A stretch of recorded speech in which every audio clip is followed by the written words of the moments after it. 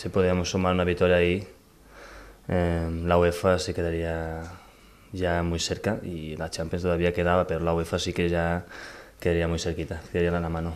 Ellos también quieren ganarnos.